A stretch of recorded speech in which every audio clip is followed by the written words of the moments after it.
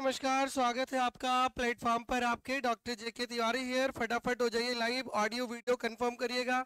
Am I audible to all of you आवाज़ आ रही है प्रॉपर तरीके से। If everything fine then we can start our session right ji, Sarika English वाला, ज्योति, फिरोज, अनीता, सभी को जय श्री राम है।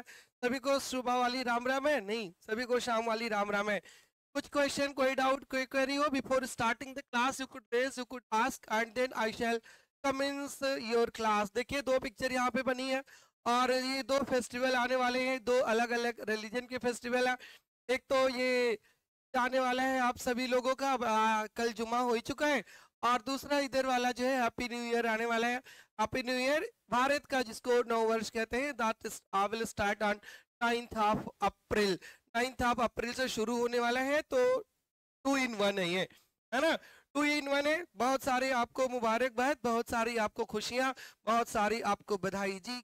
रोज अंजू, सभी को रीता, सभी को राम राम है, सभी को जय श्री राम है। ठीक है, शुरू करें सेशन आपका। I hope everything is okay now और वन वन इंफॉर्मेशन और फिर उसके बाद क्लास शुरू करते हैं। ये दोनों फेस्टिवल के आपके फेस्टिवल के टाइम पर थोड़ा सा कंट्रीब्यूशन हमारी भी तरफ़ से है, चाहे आप उसको अपनी समझ लीजिए, चाहे आप उसको मेरी तरफ़ से गिफ्ट समझ लीजिए those students who are very seriously interested in preparation, बहुत सीरियसली जो इंटरेस्टेड है, उनके लिए मैंने थोड़ा सा डिस्काउंट दे दिया है। अगर वो चाहे तो they could join the class for their betterment they could join the application they could download the application और through the application they could come to the class live classes पर आ सकते हैं। उनको 15 परसेंट का हमने एक्स्ट्रा दे दिया है राइट ये एक्स्ट्रा दे दिया है फॉर द लाइव क्लासेस और ये तो पहले से ही उनका था ही।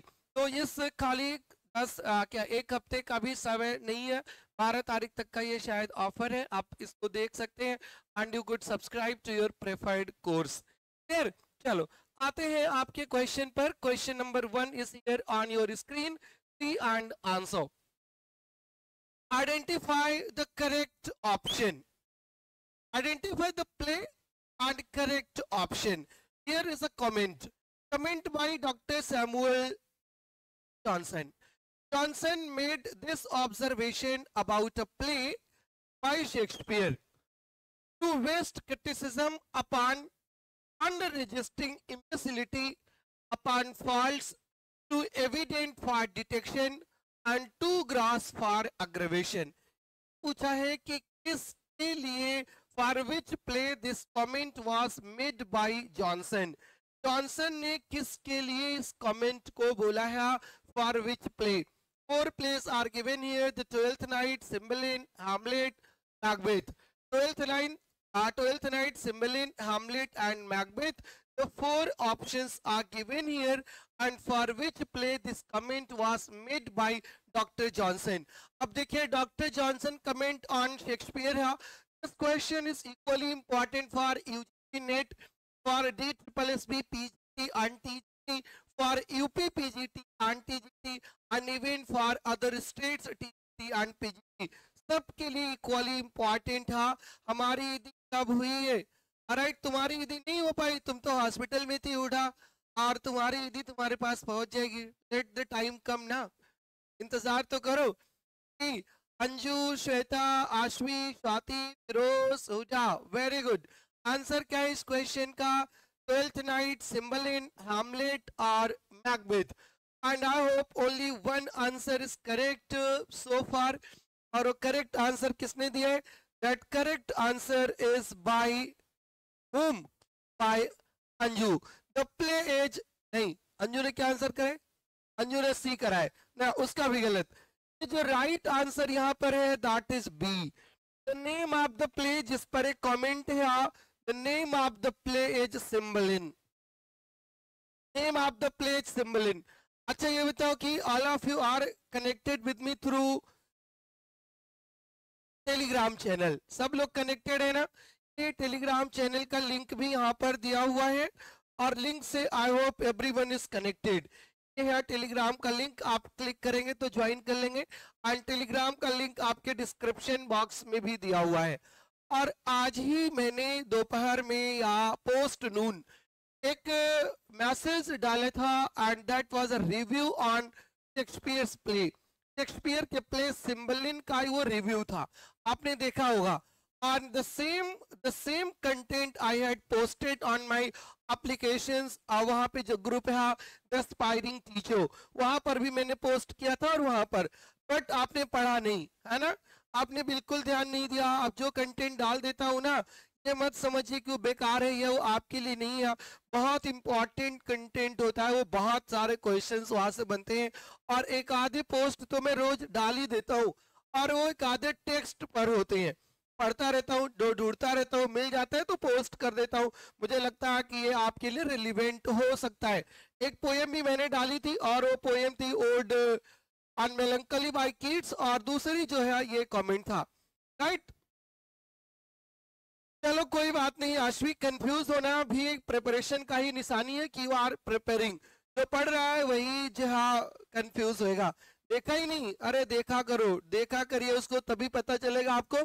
फ़िलहाल द राइट आंसर जो है वो यहाँ पे सिम्बलिन है और सिम्बलिन पे कमेंट है डॉक्टर सैमुअल जॉनसन का।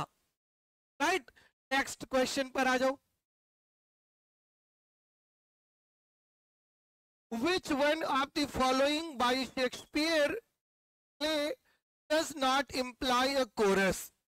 Shakespeare के किस प्ले में chorus are a character playing a role similar to that of chorus right किस कौन सा वो प्ले है जहाँ पर कोरस टाइप कैरेक्टर नहीं आता है? यूपी टीजीटी पीजीटी वाले बहुत बेहतर जानते हैं। And once I had discussed the question in my question answer session Henry V, The Winter's Tale, Pericles और मैकबेथ किस प्ले में कोरस नहीं है ये आपको बताना है। which one of the following plays by Shakespeare does not imply a chorus or a character playing a role similar to that of chorus कमान सबको आंसर करना है सब लोग फटाफट आंसर करिए फटाफट आंसर करिए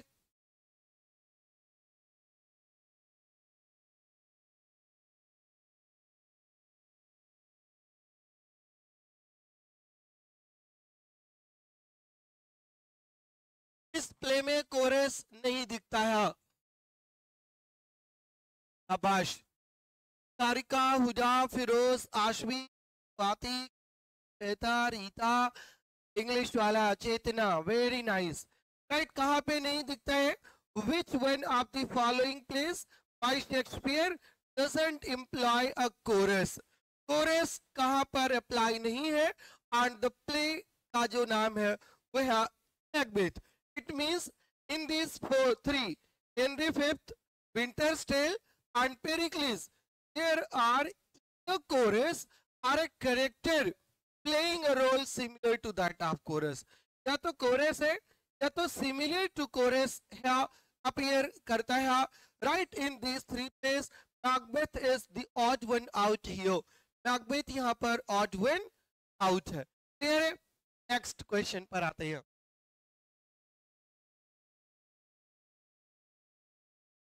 Identify what Sydney did not say about or on history. Sir Philip Sidney के बारे में everybody knows Sir Philip Sidney was said to be the perfect Renaissance man. उनको perfect Renaissance man कहा जाता है and uh, he was an Elizabethan poet, courtier, soldier and critic as well. Right and uh, Mr. Sir Philip Sidney is known for his work uh, Apology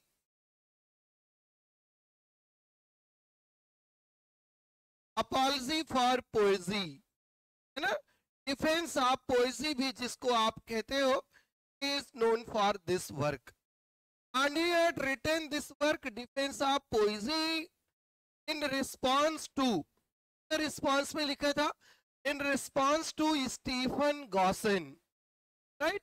In response to Stephen Gosson's work, और Stephen Gosson का कौन सा work था? Stephen Gosson का work था the school of abuse right if you are my regular visitor अगर आप regular visitor हो मेरे, अक्सर आप देखते हो हमारे चैनल को और हमारे एमसीक्यू प्लेलिस्ट को तो आप इन सारे क्वेश्चंस को जानते हो। एंड इवन एक पूरी वीडियो है मेरी डिफेंस ऑफ़ पोइजी पर सिडनी एज क्रिटिक पर right and in that book he compares history with poetry he compares philosophy with poetry, religion with poetry, comparison वो करते हैं अपने डिफेंस ऑफ़ पोएजी में। यहाँ पर जो क्वेश्चन है identify what Sidney did not say about और ऑन हिस्ट्री हिस्ट्री पर वो क्या नहीं कहते option A is option A is poetry uses examples like historians and precepts as philosophers do poetry वैसे एग्जांपल्स यूज़ करती है, जैसे हिस्टोरियंस करते हैं राइट लाइक हिस्टोरियंस और प्रीसेप्ट्स ऐसे यूज़ करते हैं, जैसे कि फिलोसफर्स करते हो। Poetry can portray the ideal poetry ideal को पोर्ट्रे करती है history can not the ideal को पोर्ट्रे नहीं करती बिकॉज़ हिस्ट्री टेल्स व्हाट है इज़ ऑलरेडी हैपेंड जो पहले हो चुका है, उस पर बात करती है। Right history can not as it is bound by truth और reality poetry can reward virtue and punish vice poetry virtue को रिवार्ड कर सकती है वाइस को पनिश कर सकती है। History reflects life where sinners can prosper history ऐसी लाइफ को रिफ्लेक्ट करती है, जहाँ पे सिनर्स प्रॉस्पर कर सकते हैं ग्रो कर सकते हैं।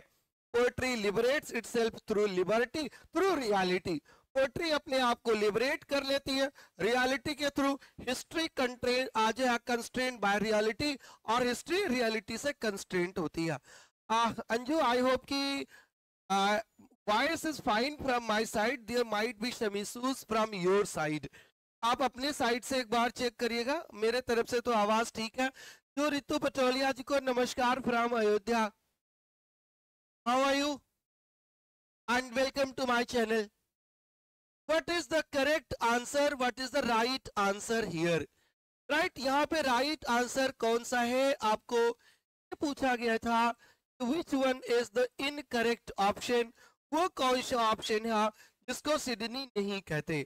Right this option these three option are true and this option was not made by mister whom this option was not said by any best of the three A B and C are true poetry users examples and precept दोनों को use करते हैं poetry ideal को portray करती है, history ideal को portray नहीं करती। Poetry can reward virtue and punish evil. History तो वो रिफ्लेक्ट करती है, जिसको देख करके आप सीनियर बन सकते हैं। अगर आप तैमूर लेंग को पढ़ेंगे तो आपको उसकी तरह ही तो बनेंगे ना। मोहम्मद गौरी की तरह पढ़ेंगे, वैसे बनेंगे, लियर को पढ़ेंगे, वैसे बनेंगे। हिस्ट्री तो अपनी तरह से सिखाती है, पोएट्री आइडियलिज्म की तरफ़ जाती है। So C option is also correct, the incorrect option one is D. right incorrect option d this question is for d triple sb pgt as well as for d triple sb tgt and nta NET इन सब का ये question है next question question number four comedy of humours comedy of humours use the medieval and renaissance medical theory medieval और renaissance medical theory use करती है। That the human body held the balance of four liquids.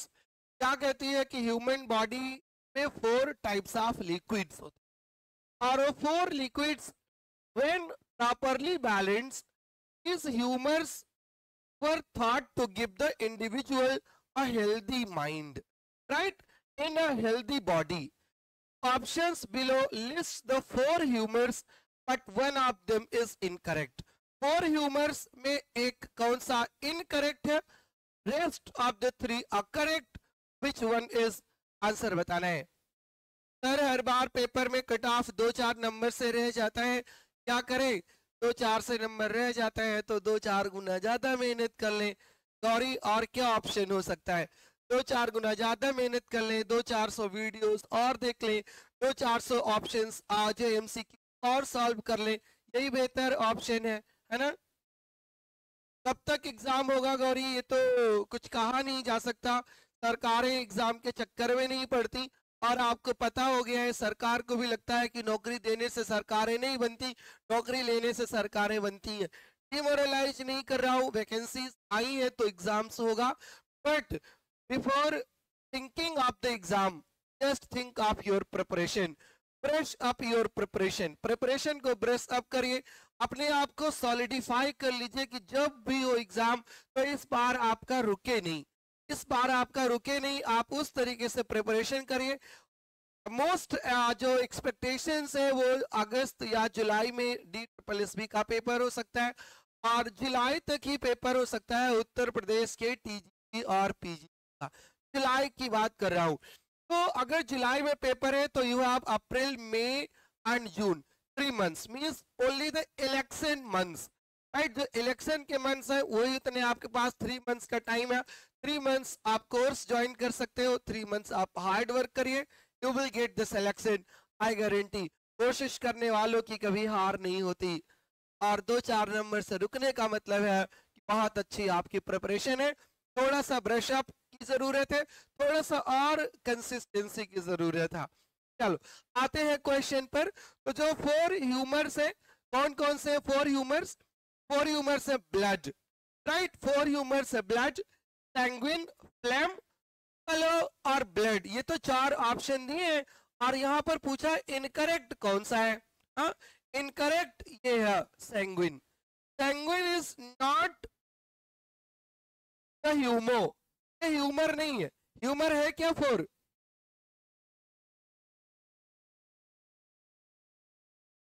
ठीक गौरी बिल्कुल, आपने channel subscribe किए हैं और आप जो है, हमारा एप्लीकेशन भी डाउनलोड कर सकते हो।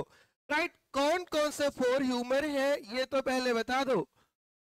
कौन कौन से फोर है ए तो ऑप्शन इज़ करेक्ट एब्सोल्युटली यही नहीं है तो है कौन इसकी जगह पर, ये बताओ। 75 ज़िले वाले ग्रुप में मैंने चैनल शेयर किया है। वाह थैंक यू सो मच कोई नहीं, गौरी होप रखिए और मेहनत करते रहिए। ज़रूर सिलेक्शन होगा। मेरे बच्चे, मेरे स्टूडेंट्स कभी बेकार नहीं जाते। यहाँ पर होगा क्या यार? ये पूछा था।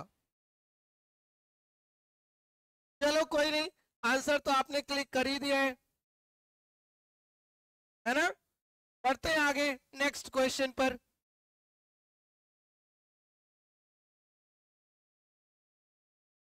In which of the following poems did Milton invoke the goddess of mirth and the goddess of melancholy? Exclusive question TGT. Exclusive question TGT. जी अंजू मैं बताना नहीं चाहते था और छोड़ दिया था कि आप लोग उसको ढूंढोगे ब्लड कलर फ्लेम और melancholy. These are the four humors. चलो in which of the following poems Milton invoke the goddess of mirth and goddess of melancholy.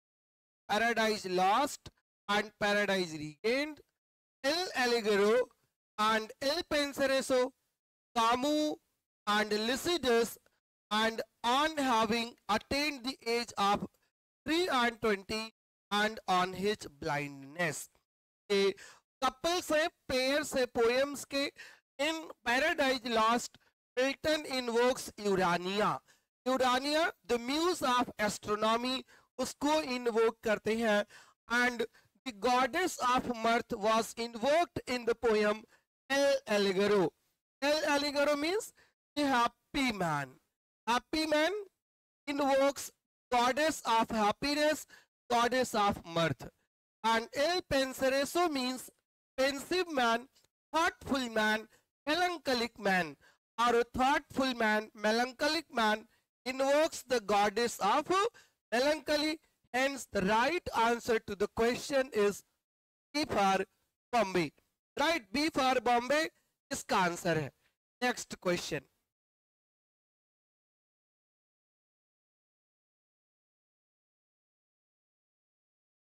In practice बहुत इंपॉर्टेंट क्वेश्चन है very very important question especially for UP.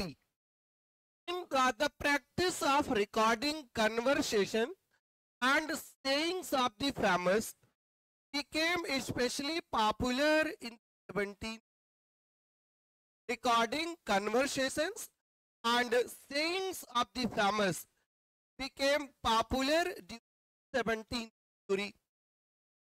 This material is especially useful for biographers and can be a form of literary biography itself. और वो famous sayings और famous quotations, famous recording of conversations ये क्या हो सकते हैं ये biography के कंटेंट हो सकते हैं and such contents were started during 17th century and the question is one of the best known example of this is का best known example है एक, और वो कौन सा है?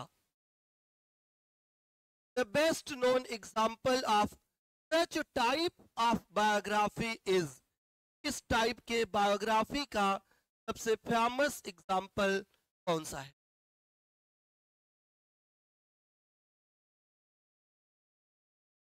Rajni good evening statues, eminent Victorians Jerome K. Jerome, My Life, My Times, William Hazlitt's Table Talk, a collection of essays, and James Boswell's Life of Samuel Johnson. Right? Biography of Samuel Johnson, and this is the correct answer to the. Uh, I hope you know. James, uh, Dr. Samuel Johnson had written the biography of 52 poets. की Samuel Johnson wrote the biography of uh, 52 poets. और उस biography का नाम है types of types of eminent types of eminent English poets right English poets ये 52 poets की biography है by doctor Samuel Johnson right doctor Samuel Johnson के student as well as friend थे, नाम था James Boswell after the death of doctor Samuel Johnson James Boswell wrote the biography of Samuel Johnson दोस्त थे उनके for a long time both of them were living together. So, james boswell had the opportunity, first hand opportunity थी to record the conversation.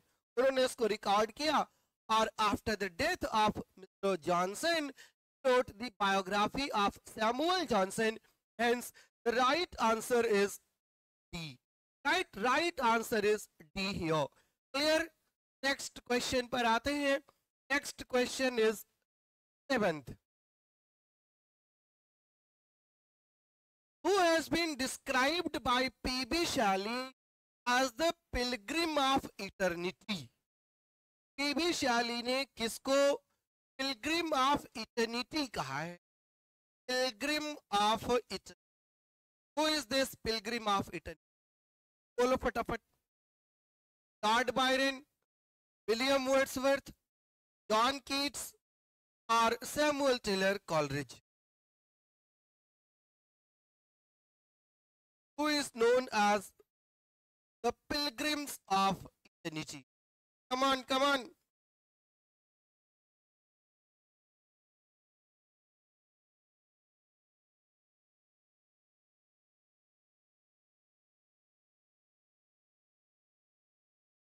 बोलो भाई बहुत मुश्किल आ गया क्या क्वेश्चन इतना भी मुश्किल नहीं भाई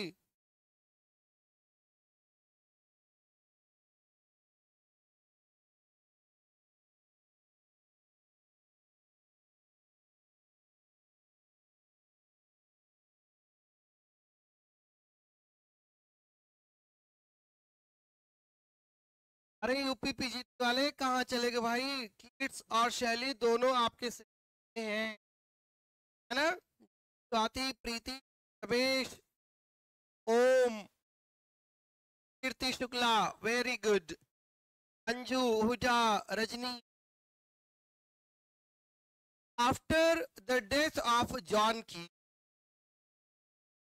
Shelley wrote an elegy.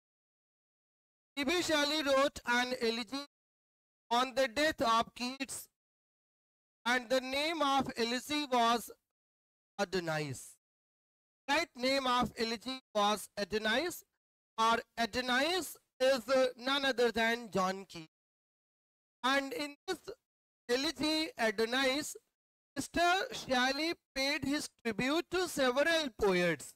बहुत सारे पोएट्स को उन्होंने अपना ट्रिब्यूट पे किया है the major poet being John की राइट और उसी में उन्होंने लॉर्ड बायरन को बोला है the pilgrim of eternity Lord Byron को बोला है pilgrim of eternity is the right answer here कौन सा है? Right answer here is A A यहाँ पे राइट आंसर है। क्लियर चलो कोई नहीं लेते रहो बस। Right right answer is light card Byron next question from where these lines taken we decay corpses in the charnel The creative spirit of Adonis, like a star, becomes from the abode where the eternal are right कहाँ से lines यहाँ tension Milton शाली और Arnold right अब देखिए answer lies in question answer lies in question here you have the word adonis तो obvious answer है कि कहाँ से ली गई है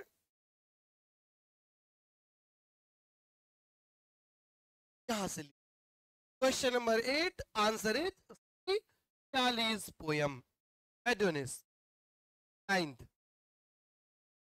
फटाफट आंसर करिए भाई, फटाफट सेशन को शेयर कर दिए कि नहीं please just share the session share कर लीजिए सेशन को, दूसरे लोगों को भी बुला लीजिए फटाफट अगर वो इंटरेस्टेड है, वैसे बहुत सारे लोग इंटरेस्टेड नहीं होते बट आप इंटरेस्टेड रहिए, आपका सिलेक्शन हो जाए बस है ना a monody, is an elegiac poem by Arnold. It is considered one of Arnold's finest poems. और अर्नल्ड की फाइनेस्ट पोएम्स में से एक है Pharisees is a traditional Greek name for shepherd poet. एक shepherd poet के लिए नेम है and who is this shepherd poet जिस पर ये एलिसी लिखी है Who is this shepherd poet? जिस पर एलिसी लिखी गई है। S Vishali M Wordsworth, Arthur huge Clough, और अल्फर्ड लॉर्ड टेनिशन। इतने क्वेश्चंस इतने क्वेश्चंस इतने क्वेश्चंस आपको करा दूँगा ना, कि आपके पेपर में एक भी क्वेश्चन बाहर से बस नहीं आई नहीं इतने इतने वैरायटी के क्वेश्चंस आपको मिलेंगे कि आपको कुछ भी नहीं, आज जो है छूटेगा। आज ये थर्ड टाइम क्वेश्चन मैंने पूछा है, शायद थ्री कंसिक्यूटिव हो गए हैं और तीनों दिन सेपरेट क्वेश्चंस रहे हैं। Answer is the same questions are different कितने टाइप से क्वेश्चंस को घुमाया जा सकता है? उतने टाइम से क्वेश्चन को घुमा दिया गया है। Right answer is C Arthur Hughes Clough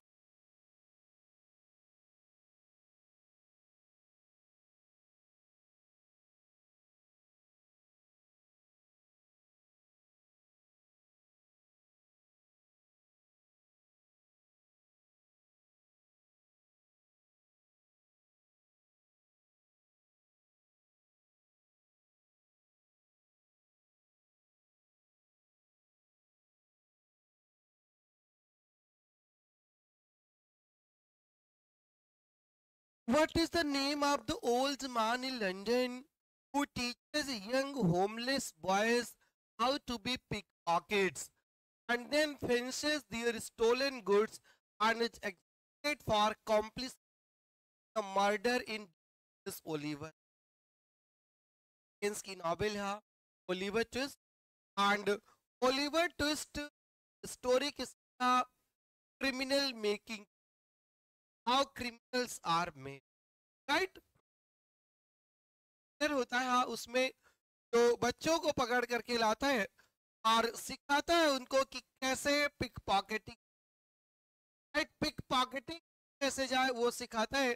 And the question is what is the name of that बंदा? उस बंदे का नाम क्या है जो सिखाता है कि पिक पॉकेटिंग कैसे करनी है? ऑप्शंस दिए हैं Bill Sikes Artful Dodger Fagin और Mister Bumble. What is the name of that person who teaches how to pocket? Pick pocketing कैसे की जाए?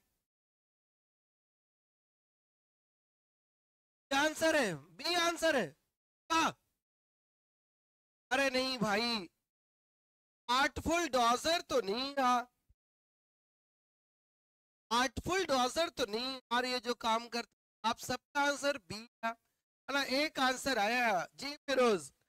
फिरोज का आंसर सी बाकी सबका आंसर बी था। हुडा का भी तो आ तो हुडा का है ना?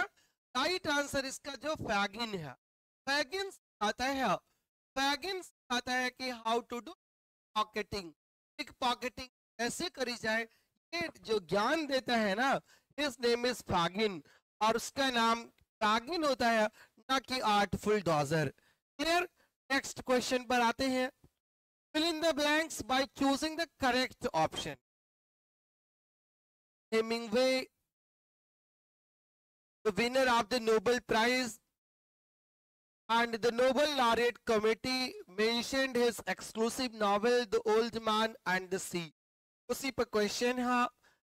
Hemingway implies which narrative technique to narrate the tale of the old man and the sea.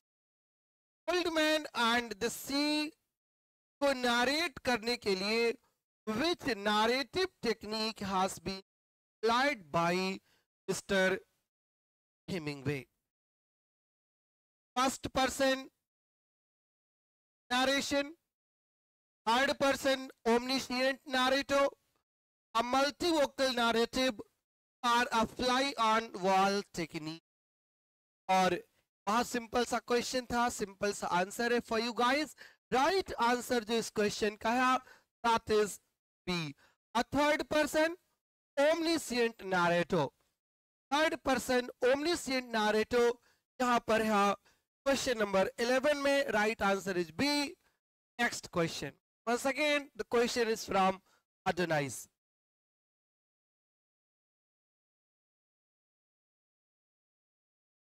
Adonais, an elegy on the death of King by Bibi Shelley.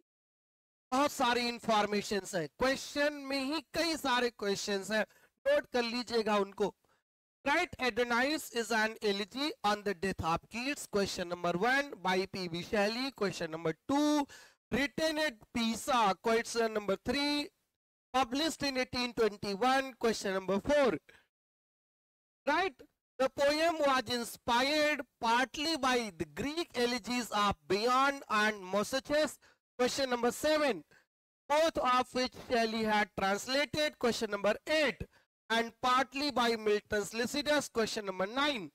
कितने क्वेश्चंस हैं अब इसमें एक क्वेश्चन पूछा है कि Composed in Spenserian stanza rhyme royal stanza sonnet form और heroic couplet ये क्वेश्चन पूछा otherwise an elegy on the death of kids by P.B. Shally, uh, written in Pisa, published in 1821, right?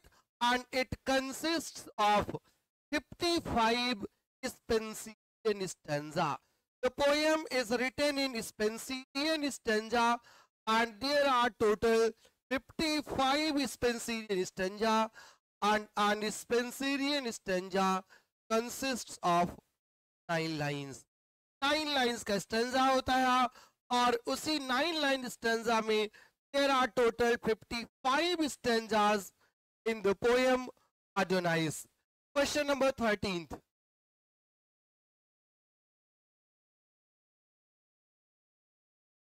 Filler है grammar का question है। और ये क्या भरेंगे?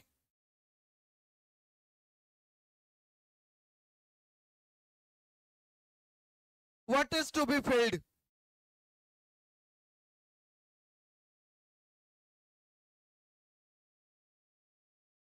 you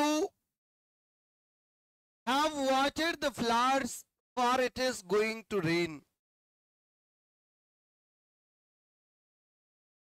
you should have watered the flowers. You must have watered the flowers. You couldn't have watered the flowers or you needn't have watered the flowers.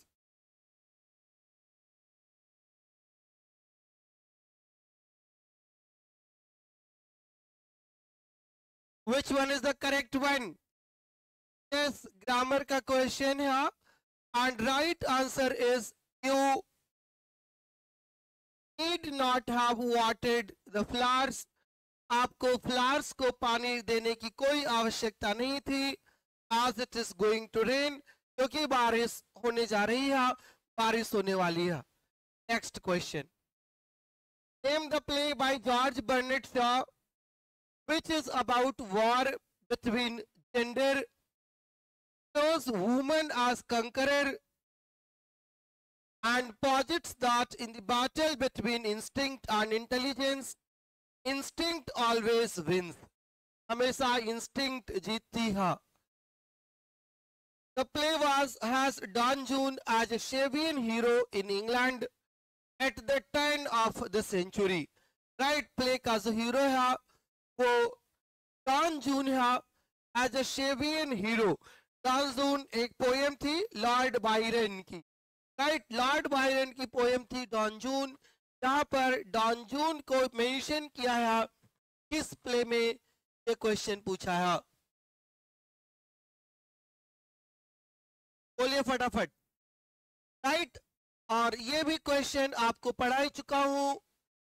इसका answer है man and superman man and superman में एक act या act three और उस act three का नाम है ना Don Juan hell Don Juan in hell उसका नाम ही है, और मैन एंड सुपरमैन में है, इसका answer next question question number fifteen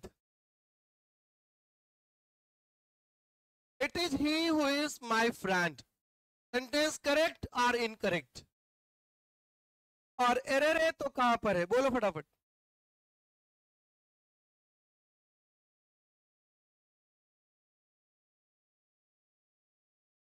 It is he who is my friend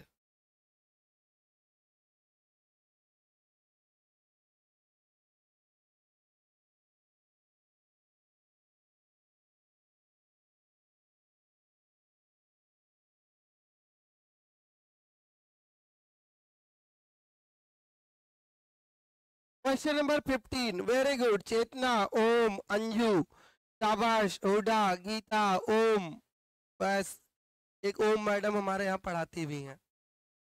तारिका, शाबाश वेरी गुड जितने लोगों ने प्रोनाउन की क्लास ली ना, सबको आंसर बताना है। देखना कितना ज्ञान पहुँचा है आप तक।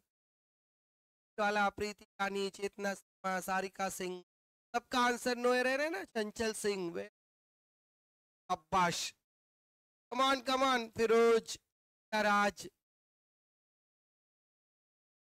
पढ़ते हैं आगे। सबको आंसर पता है? तो एरर इसका आंसर है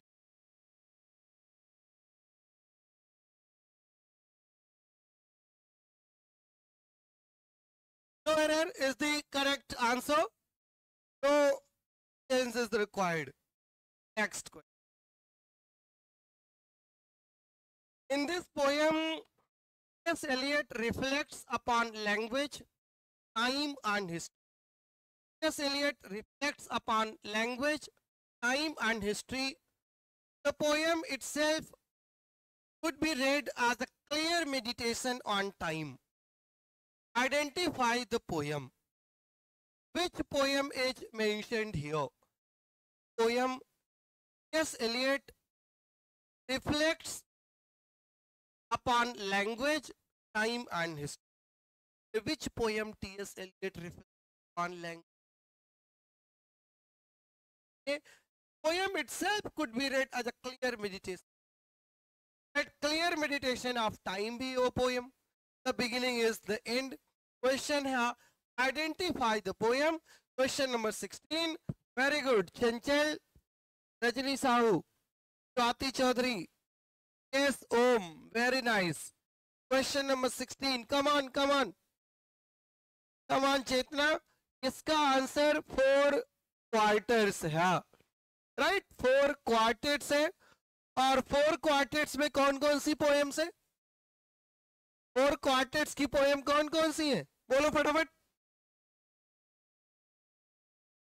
फोर क्वार्टेट्स की पोएम है पेट जी पेट जी are the poems are four quartets पेट जी में B for Burnt Norton E for East Coker E for rice alvages.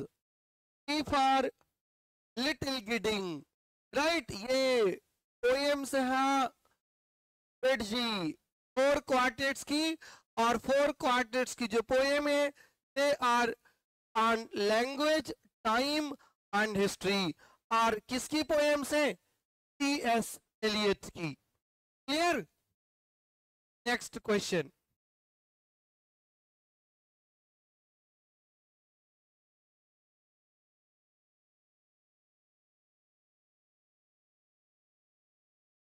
The Oxford Dictionary defines drama as a play for theater, radio or television. Play क्या है?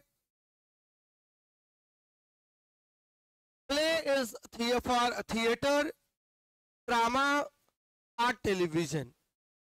As a genre or style of literature and as the activity of acting. What is the impact of television on the literariness of English drama? In which aspect of drama the as the theatre is the influence most palpable?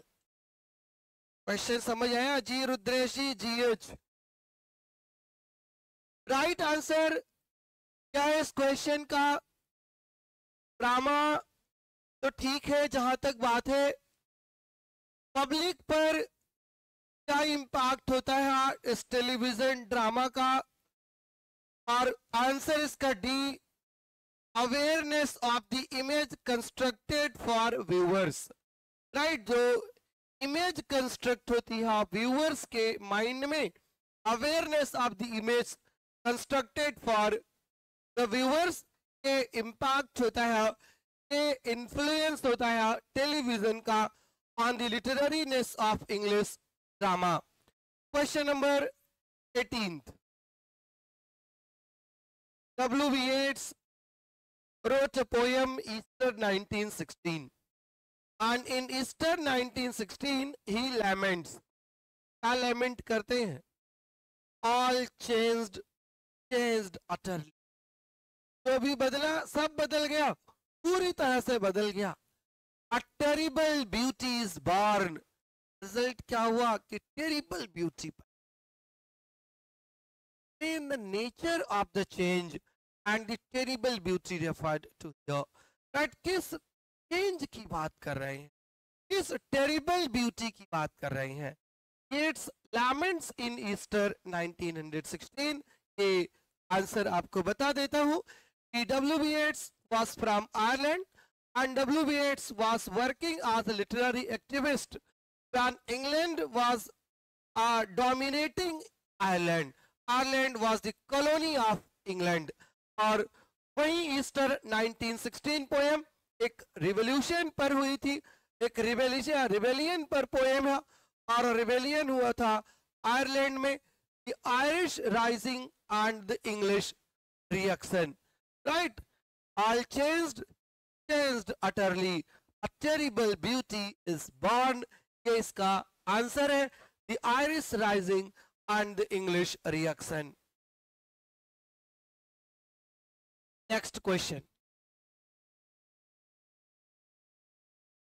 Identify the correct option and complete the observation. These are literary terms type questions the novels seeking the most objective narrative method of all. The device of a storyteller who does not understand the story he is telling. The technique of the unreliable observer was used by James Joyce and other writers. The reader, understanding better than the narrator, has the illusion of receiving the story directly. The device that Joyce employs towards achieving this is known. कौन सी device है जो James Joyce ने apply करी parody of other narrative styles, pose of famous lines and illusions, stream of consciousness, interior monologue, are fantastic incidents and shadowy characters. And all of you know the correct answer to this question. The puri definition है it is about the stream of consciousness. About the stream of consciousness and James Joyce used this stream of consciousness perfectly in his novel Ulysses. The entire novel Ulysses is the story of single day. एक दिन की story होती है जो narrate कर रहा होता है narrator stream of consciousness is the right answer here next question that's some history of english literature के questions हैं the dramatist was the first to use characters spread apart down to basic existential elements and as symbols to reiterate his Indian means unpleasantly dark view of human condition. He is also known as the one who initiated the theater of absurd. तरह चीज़ें pre में लिख दी है। और question ये है। One who initiated the theater of the absurd theatre of the absurd की जिसने शुरुआत करी है, उसी के करेक्टर्स पर क्वेश्चन है। और who initiated it was Samuel Beckett और सैमुअल बेकेट का play the waiting for Godot and the end game are the best examples of existentialist play best example of what best example of theatre of absurd all right next question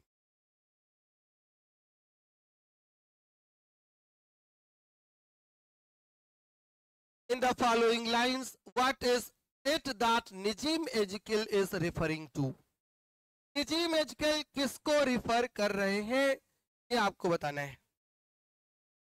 Regime H is referring to home here is a place to which I of go not by planning to but by a flow away from all existence to a cold lucidity whose will is uncontrolled here the mills of God are never slow Lines are written by the Indian Jewish poet and the question is what is it that Nijim Ejkil is referring to? Nissim Ezekiel किसको refer कर रहे हैं इस poem के through इन lines के through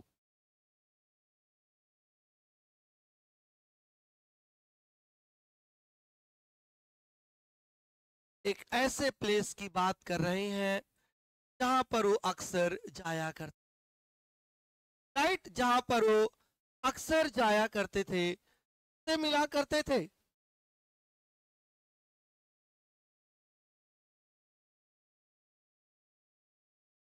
Not by planning but by a flow planning के तहत नहीं जाते थे।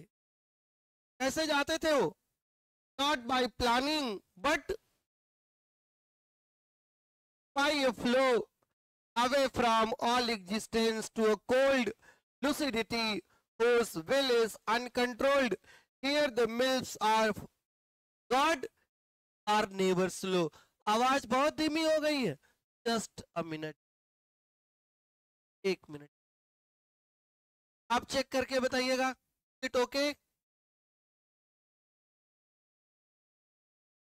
अब ओके हो गई ना? चलो। राइट आंसर इस क्वेश्चन का सी नहीं है। इस क्वेश्चन का right answer right understanding life in death इसका आंसर है। यहाँ पर मौत से मिलने नहीं गए हैं। Place to which I often go not by planning but by a flow planning के तहत नहीं, अक्सर नहीं जाते। Right away from all existence to a cold lucidity whose will is uncontrolled ये उनका understanding life in death right understanding life in death next question बाबूबली Kipling Rudyard Kipling की novel है किम रुडियड किपलिंग की नावेल है किम और उसी में character है Mahbub Ali. He tells Kim Here begins the great game असली खेल यहां से शुरू होता है identify the option that offers the most relevant and clear interpretation of the statement क्या मतलब है इस स्टेटमेंट का Here the great game begins. Right, Rudyard Kipling was an Indian-born Britisher and he wrote in favor of Britain, in favor of England and he declared Indians as ऐसे declare किए था Mowgli right कि they are uncivilized people they are the people who are to be governed who are to be controlled right और ये उनकी आज novel है किम और यहाँ पर वो किस बात को प्रिडिक्ट कर रहे हैं it predicts the cold war between west and Russia the seeds the spy stories of Le Carre around Kim where spionage was deadly game. It refers to the battle of supremacy in Asia between Britain and Russia. Yeah, it hints the battle between the races in which Kim would ultimately become a chela. Kim ultimately chela बन जाएगा यहाँ पर वो किसकी बात कर रहे हैं राइट ये आपका क्वेश्चन था आपको आंसर यहाँ बताना था और ये बात यहाँ पर हो किसकी रही है ये बात यहाँ पर हो रही है। ऑप्शन सी की यहाँ पर it refers to the battle for supremacy in Asia. Asia के सुपर मैसी की बात हो रही है। ट्रेड गेम उसी का बिगिन हुआ है। Britain between, Britain and Russia nineteen century हमें आपको तो कोई पूछने वाला वैसे ही नहीं था। सुपर मैसी की बैटल है। Between Russia and Britain. Next question.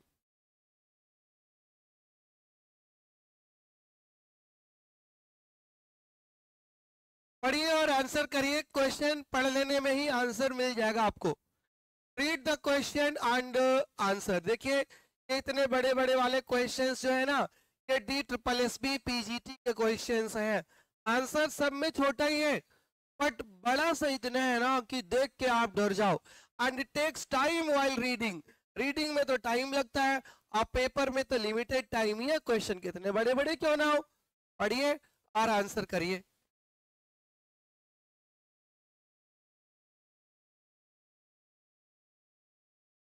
The torturous initiation into modern life mimicked sans philosophical over or undertones in an imaginary land, the part feudal, part modern setting of inchoate longing and vague dissatisfactions and intellectual impotence of the marginalized upper caste protagonists and the confused inner life of a fragmented makeshift pre-colonial society that has yet to figure out its past or future are the concerns of this novelist, according to a critic. And who is the novelist? The novelist is here Rasipuram Krishnaswami Iyer Narayan R K Narayan यहाँ पर answer है मैंने कहा था कि question पढ़ लोगे तो ही आंसर आ जाएगा। रिजेक्टेड लवर जी का भी मोस्ट वेलकम है। राइट कहाँ से आपने इसको क्वेश्चन को समझा? देखिए अन इमेजिनरी लैंड की बात कर रहा है। And which of these novelist created an imaginary land यहीं से आपको आंसर मिल जाएगा। And imaginary land was created by Mister R K Narayan और उस इमेजिनरी लैंड का नाम क्या था? इमेजिनरी लैंड का नाम था मालगुडी। राइट मालगुडी उस इमेजिनरी लैंड का नाम है। और राइट आंसर जो है वो आर के नारायण है। Rasipuram Krishnaswami Iyer Narayan alright good evening समझ आई बात की ना? तक क्वेश्चन को बहुत ध्यान से पढ़ लेने से ना 90 परसेंट टाइम क्वेश्चन का answer right right, 90 percent answer question को पढ़ लेने से जो है क्लियर हो जाता है, इसलिए क्वेश्चन को बहुत ध्यान से पढ़ना चाहिए। कभी ओवर कॉन्फिडेंस में टिक नहीं कर देना ओवर कॉन्फिडेंस बहुत खराब चीज़ होती है। और ओवर कॉन्फिडेंस एक ऐसी चीज़ है ना, जो अपने को कभी समझ नहीं आती। समझ सामने वाले को आती है कि आप ओवर कॉन्फिडेंट हो। अपने को समझ नहीं आती। अपने को तब तक नहीं समझ आती जब तक रिज़ल्ट न चौपट कराए और शायद कभी समझ में नहीं आती। और उसी ओवर कॉन्फिडेंस को धीरे धीरे सुपरलेटिव फॉर्म में जब ले जाते हैं ना तो उसी को प्राइड में कन्वर्ट ये था आपका ट्वेंटी फोर्थ क्वेश्चन आते हैं ट्वेंटी फिफ्थ पर। ये सॉरी मुल्क राज आनंद पर क्वेश्चन है, और पढ़िए और बता दीजिए जब आप। अब पहले लिखा कि मुल्क राज आनंद पर है। आनंद उन्नू उन्नू is the hero of the novel Coolie Mulk Raj Anand उन्नू in the Coolie is essentially and ultimately a victim of different operations in कई टाइप के डिफरेंट ऑपरेशंस हैं उसके कई टाइप से उसका टॉर्चर किया जाता है किया जाता है उसको बट अनटचेबल में जो है भाखा उसका एक ही टाइप का एक्सप्लाइटेशन है। Bakha in the untouchable goes through in one in a day what is the other crucial difference between the two characters when all that is stated and on the surface is understood that could be अन और कौन सा difference है? भाखा और नू Option A, Baka can dream, Unnu has to.